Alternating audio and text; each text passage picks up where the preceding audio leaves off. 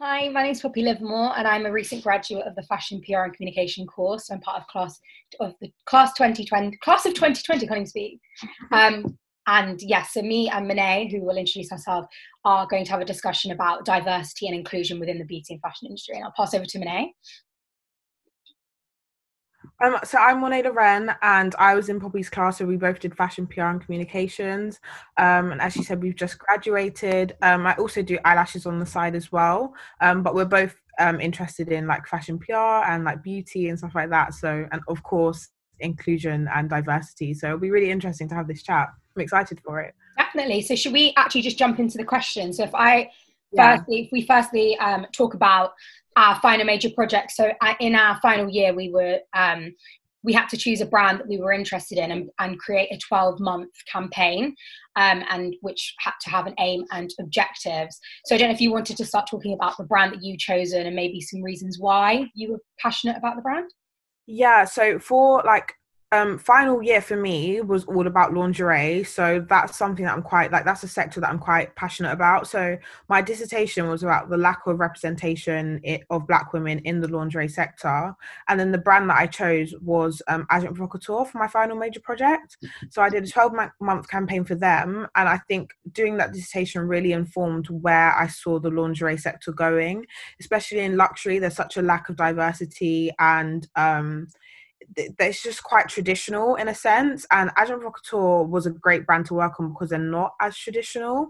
Um, they're quite British, but also it made me think about what ambassadors I could use that are um, Black British or like Asian and British um, and incorporate them as ambassadors um, for the brand. And I created like a podcast and I had people like, um, Dina Asher Smith come on.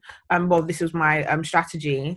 Um, and just with that, I just thought, how can I put more black women in um, the sector of lingerie without fetishizing them and hypersexualizing them, um, which has been seen um, by plenty of brands before. So yeah, it was a really cool brand to work on.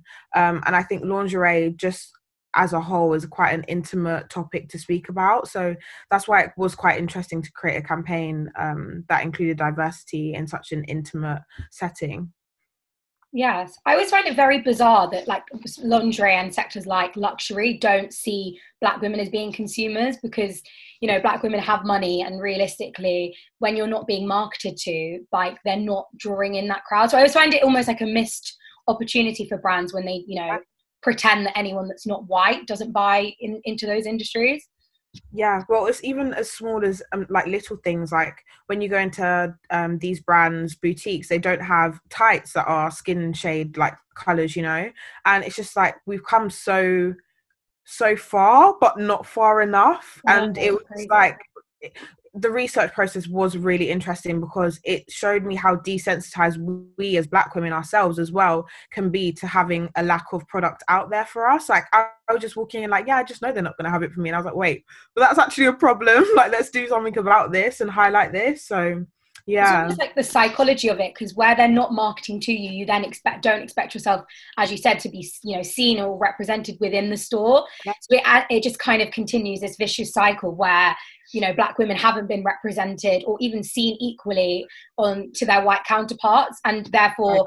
almost with them not being represented and now kind of like you know why would a brand represent me? But then you think also that we're live in such a progressive time as you know some people may describe it in in the year 2020 but actually we're still you know finding that so many brands are really slow to catch on to re- you know to to have a more diverse representation whether that's through their marketing or even in their um their leadership team or actually just their employees within a store setting as well yeah, that's why I think both of our brands, because I know you did um, Pattern by Tracee Ellis Ross. It's so funny because we both picked brands that are very intimate and it's something that's very dear to women as a whole. So our lingerie is our first first thing that we put on in the morning we do our hair you know and it's these sectors that we've been discluded from for so many years and they're so um yeah just important in our everyday lives and they're very um important for our identity so it's funny to look at the psychology of how this is possible it's not funny at all but it's really yeah. interesting to look at how that will psychologically affect black women you know and just Definitely. the fashion industry as a whole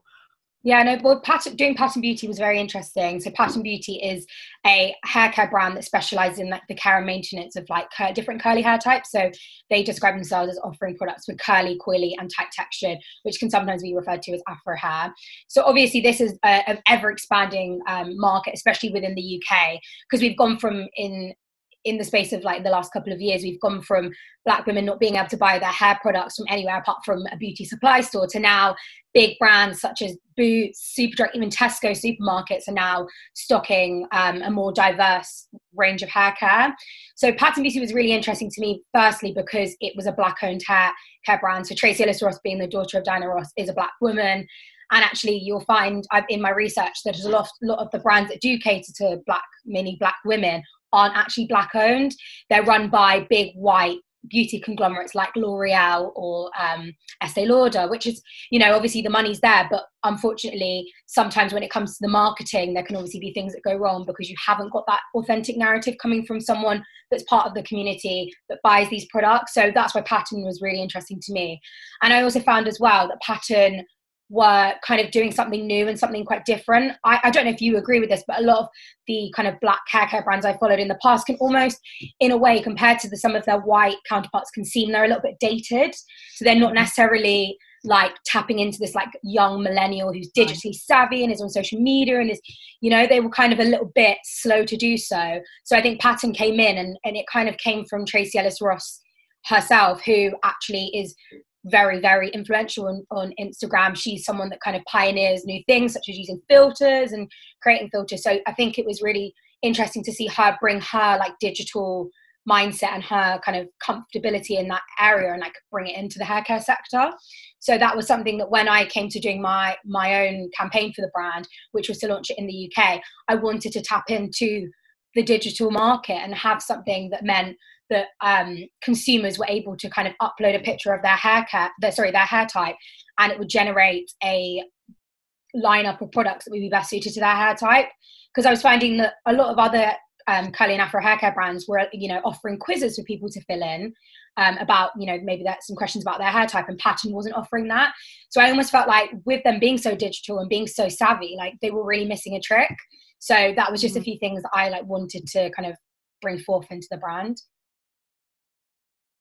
Well, I think even the brand as a whole, it, it highlights how important it is to have an authentic voice behind um, the brand because then it, it does even just you working on the strategy mm-hmm. for it having these authentic voices that can actually relate to the audience you then come up with these incredible innovative um, strategies that as you said the hair care um, sector has kind of lacked and we yeah, just you know, just we've just we're just so used to having the same old products and not moving forward with it um so bringing something exciting to the consumer yeah. happens when there's an authentic voice in the I brand agree. and i think that was interesting with pattern as well is like sometimes and i think it links back to what we were saying earlier about black women not being valued as luxury customers i think even in the beauty industry there's been this tendency to kind of like market like cheap looking products products that are kind of like yeah, they're not very anything very special to black women. It's almost like they're a second, like they're an afterthought.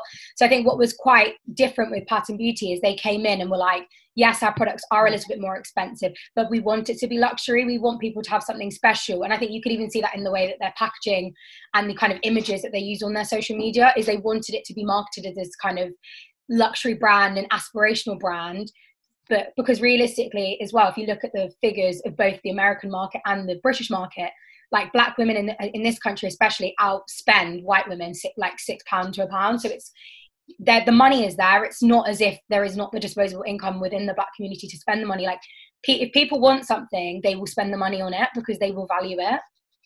Well i think that's an interesting conversation actually because you're speaking about product that is for natural hair. Yeah. and i know that like as a black woman speaking to my black girlfriends a lot of us would rather spend more money on false hair wigs we um and then it's seen as like oh when you invest in like natural hair care products. And it's interesting to look at the history of how black hair has been represented oh, in terms yeah, of it like it not being seen as luxurious. So to spend on on mm. black hair that's not seen as luxurious aspirational it's almost as if why would you do that you know um, so in that brand alone is changing lives and changing the narrative of the way the black woman sees herself um, just in that representation alone, which I think that other brands throughout the fashion industry and the beauty industry could really um, they should they should take that on board and try and implement that within their own strategies. Because by empowering that woman you're empowering you know her spending power and you're encouraging her to shop with you. So yeah i definitely and I, and I definitely think as well like a brand like pattern wouldn't have been able to launch with such such success if it had launched maybe like 10 15 even you know 20 years ago because of the context of women especially and obviously black women even more so having choices so i think it's important that black mm. women can represent themselves by you know having natural hair and spending money on that but also at the same time there's no reason why black women can't spend lots of money on you know false hair. So i think and that's what i think the beauty of social media is is that you can see these like multiple representations of what a black woman or whatever type of woman looks like. And i think it almost now there's no reason why you know and i think that also links back to kind of like authentic marketing and of representation of you know diverse people is there's always been that like token black girl or token asian girl and they have this you know this particular hairstyle this particular look. And i think now like that's so outdated because you don't walk down the street and see one type of black woman like blackness is you know it comes in many shades and it's also comes in many forms. So i think again you can always see the brands have just used you know the one black model kind of for the sake of using a black mm. model and the ones are like okay we want to you know show the you know what our consumer looks like and they don't look, all look the same and that's the thing again having an authentic voice within your company you will know that black women now on social media especially are embracing all like we always have been you mm-hmm. know um like setting trends and but now it's more so being like there's a much more acceptance to a different type of black woman you know so even to link to that i'd say with um agent provocateur when i was doing the research within they've been running since 1994 and they had only ever featured two black women and one of them was naomi campbell who we know mm-hmm. has done very well in marketing due to her crossover appeal yeah. um whereas now um, it's very important for brands to understand that black women have no desire anymore to appeal and to have that crossover appeal and we are embracing our difference now you know um, which is very important for people to I'm so sorry. Don't worry, it's fine. It happens. yeah, no, I agree. I think that's like when you think about now, like that they've only had two black models, just seems like you know like you can't it's kind of like unha- unheard of but but realistically yeah. it's because some brands maybe haven't prioritized you know having diverse representation you know as much as other brands um yeah so i mean there was a a lot of comparison obviously when looking at my competitors and stuff like that and i think having um, brands such as savage x fenty that has really caused um, a shake up within the lingerie um, sector so that was really interesting to look at especially with the huge contrast with um, big conglomerates such as Victoria's Secrets having such a controversial controversial time at the moment for inclusion and diversity. Obviously, not just um, about skin tone, but body um, diversity and things like that. So it was a really interesting time to look at um, the lingerie sector. Um, unfortunately, it's really funny because when speaking to consumers, a lot of consumers of Agent Provocateur that I spoke to were black females. Um, and there was this sense of accepting that they're a luxury brand. We're very much used to luxury brands not representing us, um, but we buy from them anyway because we value luxury, mm-hmm. um, which is really interesting because I think that the black community, like I've read quite a few like psychological reports and things like that, and we are very much invested in luxury. And it's funny that for so long these luxury brands have gotten away with not representing us. Um, um, but particularly in lingerie, um, things like fitting our body shapes, um, even things down to um, garter belts and things like that. They're made for a very particular body type, a very slim European body type that even white women who are a bit curvier will have trouble with, you know. Um, so yeah, things like having uh, two black models, it wasn't shocking. However, it did show that then there's so much more that needs to be done, and clearly that's something that's Savage X Fenty had realized. Um, Rihanna, being a black woman herself, again, just proves our point about having an authentic voice, um, has been able to represent an array of different women. Um, but we can see in the demise of like Victoria's Secret that people are starting to listen and people are starting to call brands out um, when they aren't being diverse um, which is really positive and it's really good. Um, however, I would like to see in the future with lingerie brands um, such as like Nubian Skin that cater to all different types of skin tones. Um, with when it comes to bras, because psychologically, if you think about it, black women already are fetishized quite a lot.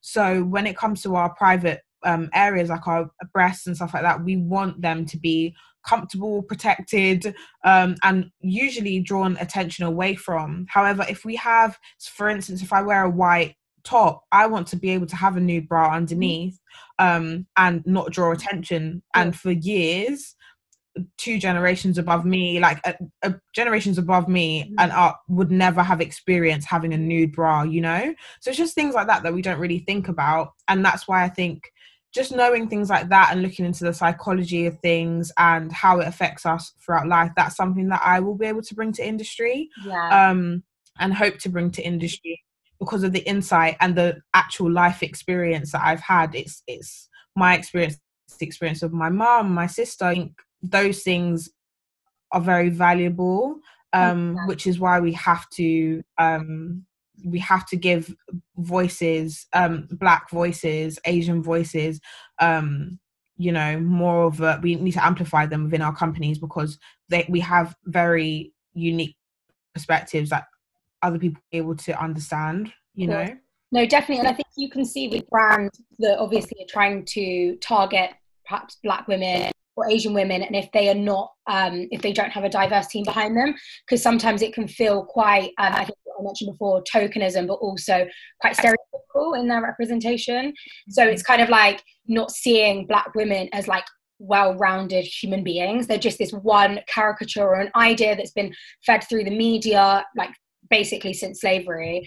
That you know the black women is, as you mentioned, about being hypersexual and they're you know masculine or something, and you know that this, you know that they're not worthy of being considered by brands as as consumers. So I think definitely you can mm. tell there's a major difference in terms of brands that have got a diverse team behind them not just the models that they use because i think we can see beyond that now of having you know if you've got a runway full of black models that's amazing but if your designer makeup artist hair artist like every single other person behind scenes is white or european it's just you can see it it's kind of like quite blatant especially in the era of transparency as well where everyone wants yeah. to see you know how things are made and where where our products are coming from and who's who's behind the team i think it's really important. But yeah going back to what you said before like why i think it's really important for people like yourself and i to get into you know the industry into the pr industry is because we can bring our experiences. Like from the day you were born you were a black woman you know so you right. have a lived experience that you know money can't buy and it doesn't matter how many yeah white women or white men or whoever is in the team they're never going to be able to authentically speak to the community in the same way that someone like you would be able to.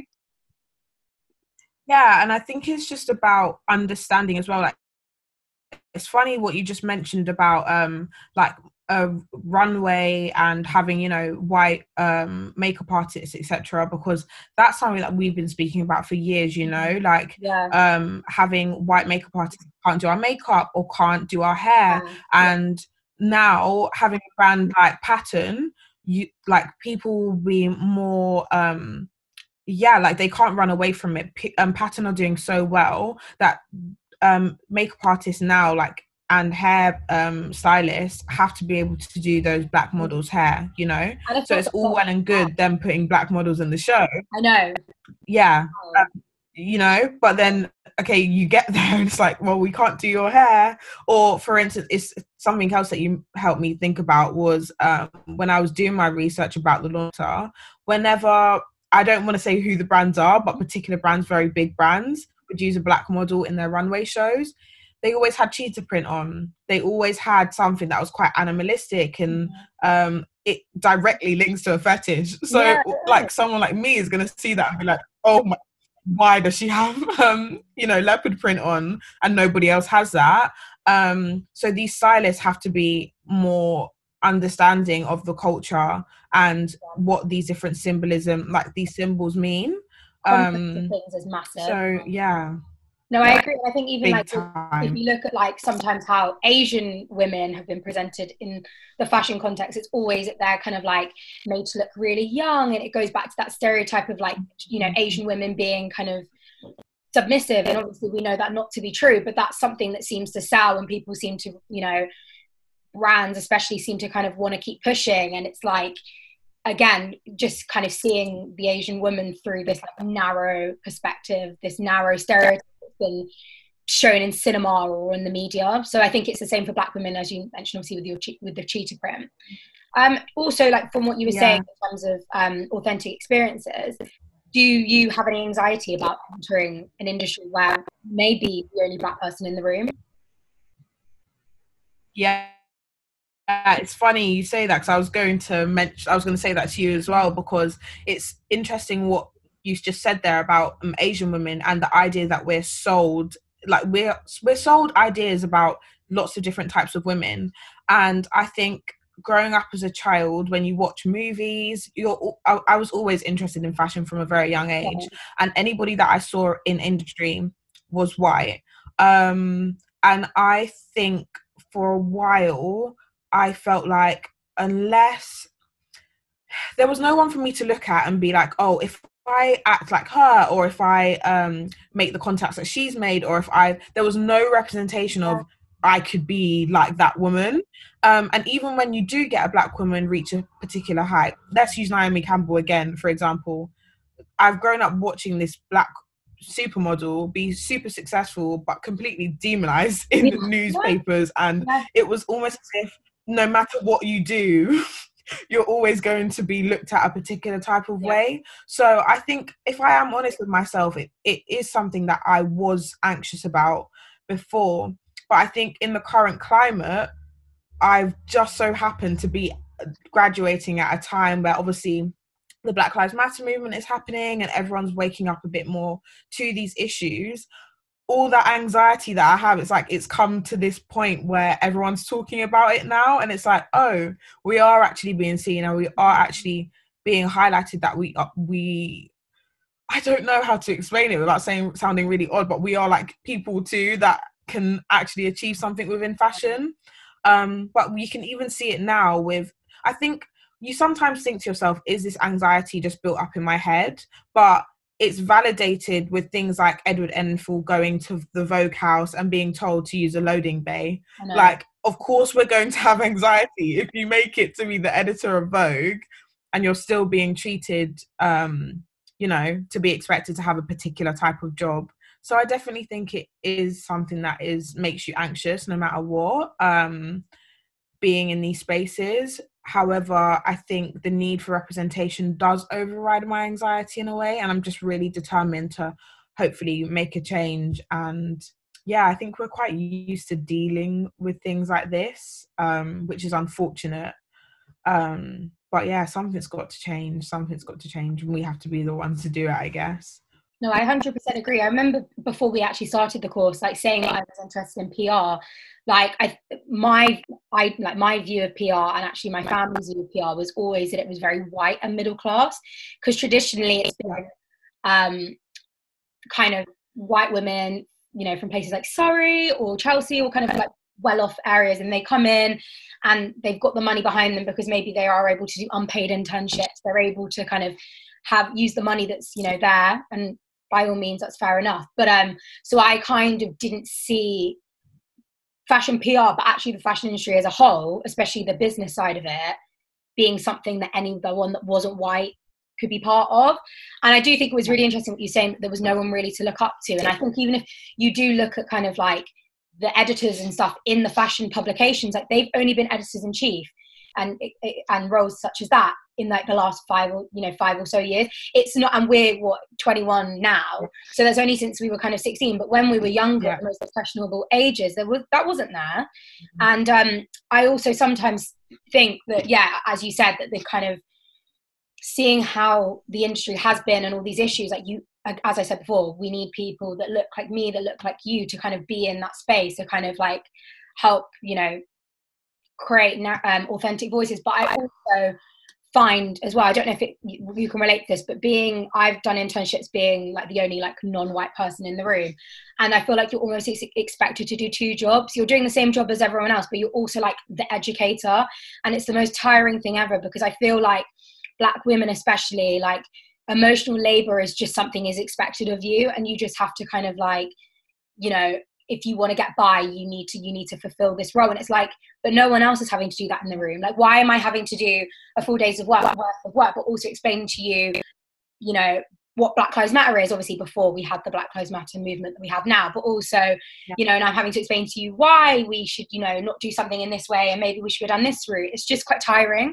Don't know if you feel the same. Yeah. No, I, I can agree. And it's funny because I think there's multiple layers of emotional labor there's not being understood in the workplace it's having to put on your best face at all times because you don't want to be seen in a particular type of way because naturally any personality trait you have comes with that extra added connotation because of your race you know?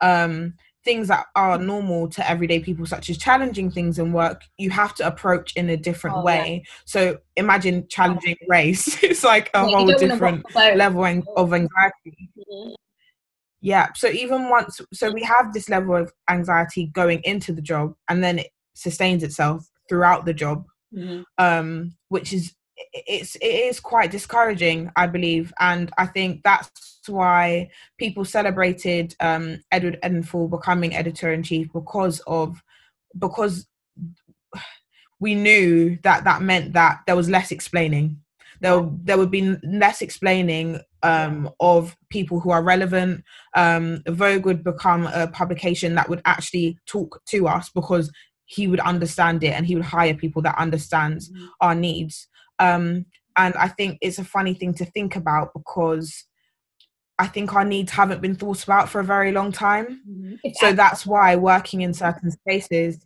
it's draining because we're not even being catered to anyway and we're not a priority to be catered to. However hopefully with everything that has happened this year um, and the appointments that have been made we will start to be looked at as a as a marketable um yeah a marketable audience finally. Definitely agree.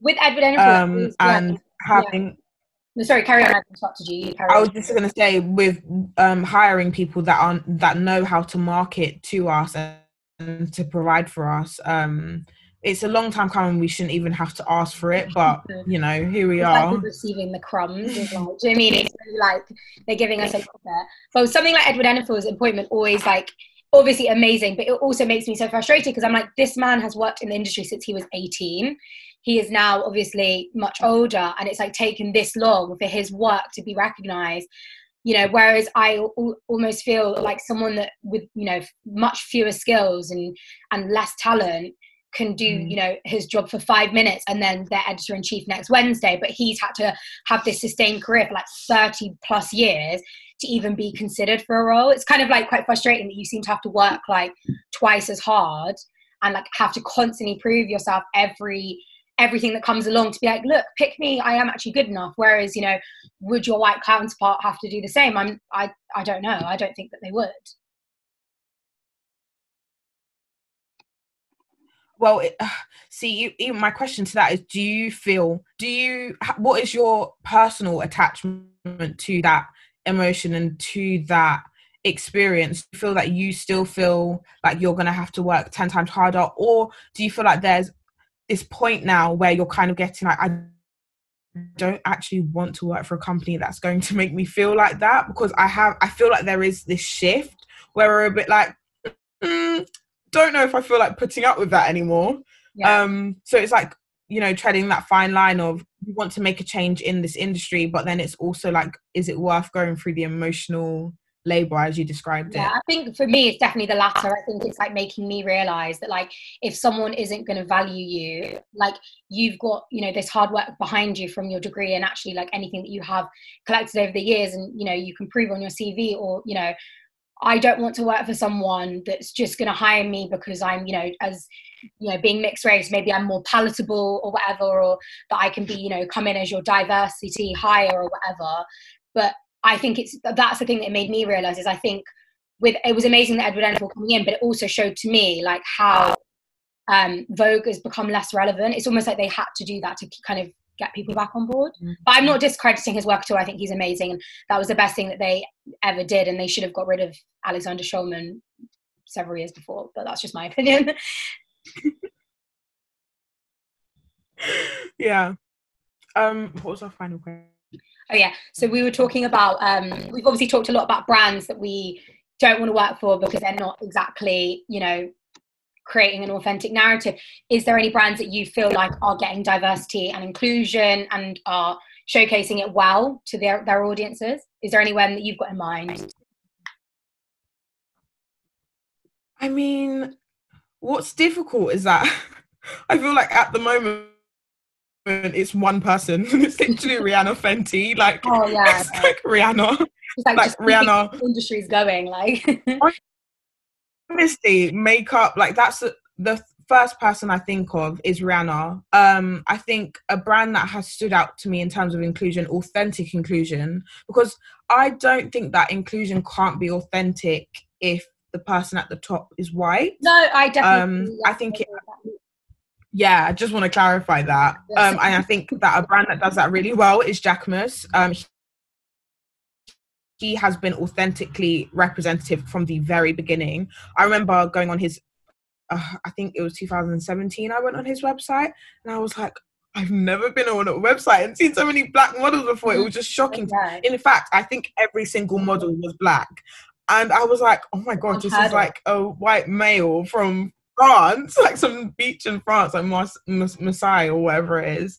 And I was like, wow, like that's so interesting um, that he saw that to be a problem and highlighted it because he's obviously been dressing Rihanna for a very long time yeah. now, um, Kim Kardashian. So in terms of he didn't carry that narrative of luxury fashion. That's very um yeah, it doesn't include everybody. He included Kim K with her like this different body type, Rihanna, and then of course the, the different models. So yeah, I'd say Rihanna and Jacquemus are two brands that I'd say have done a pretty good job in it being authentic. Because there are a lot of brands out here that could be like, oh, what, what about us? We've got a black model, but it's not. You know, yeah, it's not authentic. Yeah. You know.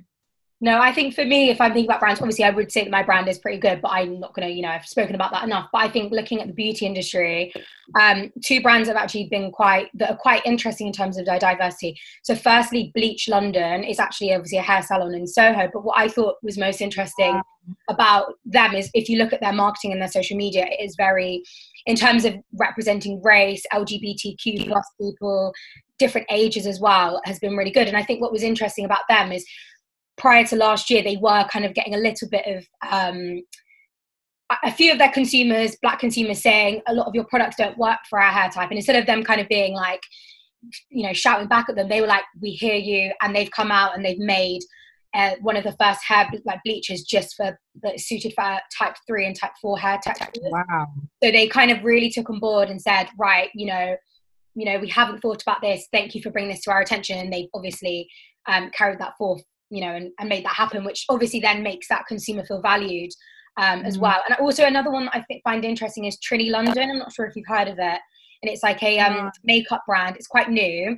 The founder um, is Trinny Woodall, who was a kind of a fashion stylist in, in the past, and she's kind of moved into the beauty industry. But what I find most interesting about her is she the kind of work that you can see displayed on their social media also. So they have um, a lot of tutorials on there, but they're not kind of like the big beauty makeup artists it's not jeffree star or you know someone along those lines. They use small influencers black asian um, male influ- makeup influencers as well. And also they use a lot of older women so women over the age of 50 over the age of 60 and show how they you know how they treat their makeup routine as well. Because obviously beauty doesn't have a sell by date. You know people still consume beauty products after the age of 30 you know. So i think that's another one that's been quite interesting in terms of like how they represent themselves because you can see that they're not just trying to be a brand that's for you know 15 year old girls. They want women to kind of buy from their brand whether they're 15 or whether they're 55 so i think it's quite interesting there if you see yourself represented that you would be more likely to want to engage with the brand. Yeah. But yeah i think that's good. Um, one thing i did want to know yes. I just wanted to note that i think um, something that was quite important to speak about in terms of um, brands um, that we feel like we could relate to because I think it's funny for your final major project you chose a brand that represents you mm-hmm. um, and I chose a brand that doesn't so it's really interesting um, in terms of just how we're able like i think for me it really opened my eyes to how much um, there is this acceptance of brands that don't um, cater to us. Um, and we're very much used to going into industry with that mindset. But i think in light of everything that's gone on now um, and lcf as well like m- my tutors were like Monet, like go for a brand that's actually going to represent you. Why do you keep on going for? Like whistles and cause like yeah. they're like they you just they don't represent you you know and i think it is really important that people within a company feel valued and represent it's going to be very difficult for you to move forward with um, creating a great future for them as a pr so i think that's definitely something for um, black um, and Asian people to think about when going into industry. Like, what is that brand going to do for you? Is your life going to be made easier by working for that brand or harder? You know, and are they going to respect you and um, yeah, value your talent? You know. So I yeah no I definitely agree with everything you said there. I think we should probably wrap it up. Um, yeah. so yeah, so that was us discussing inclusion and um, diversity within the fashion industry and beauty industry as well. Yeah. So, yeah. I really enjoyed that. Bye. Yeah, okay,